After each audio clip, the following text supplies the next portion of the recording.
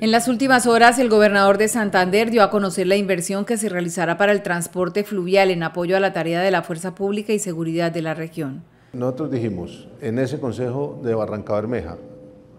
y, inclusive el ministro después me lo dijo, me, me, gusta la actitud del gobernador,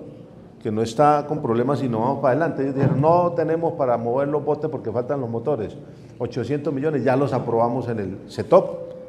en el Consejo Territorial de Orden Público, 800 millones ya están listos para que esos botes que van a colocar allá en el elemento de combate fluvial la Armada Nacional puedan moverse sobre el río y nos ayuden a controlar la criminalidad de Barranca Bermeja. De igual forma, el gobernador aseguró que desde el Consejo Territorial de Orden Público también se determinó una inversión importante para vehículos motorizados. También se aprobó ayer dos partes de lo que tiene que ver con lo que yo llamo el CIMBRE, el Centro Integrado de Monitoreo, Vigilancia y Reacción Inmediata, que son vehículos y motos para ejército y para la policía para que ellos puedan empezar a tener control y movilidad en diferentes sitios en el área.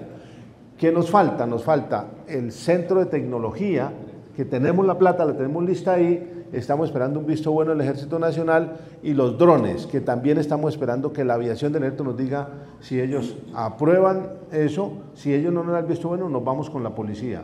y si no, pues nos tocará hacerlo nosotros de alguna manera, pero tenemos que darle esa capacidad de eh, vigilancia al área rural. Así las cosas, se espera que en poco tiempo el gobernador de Santander, Juvenal Díaz, logre materializar este anuncio tal y como se estableció en el consejo realizado para apoyar el trabajo de la policía, el ejército y la armada en Barranca Bermeja, Puerto Wilches y en zona rural del departamento.